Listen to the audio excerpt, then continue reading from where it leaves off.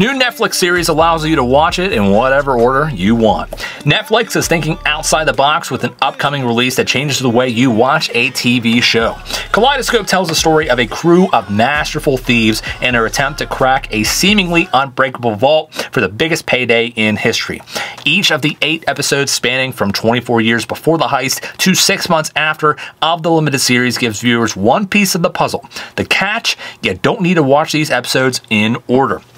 All viewers will eventually see all episodes, but the order in which they will watch the episodes will affect their viewpoint on the story, the characters, and the questions and answers at the heart of the heist.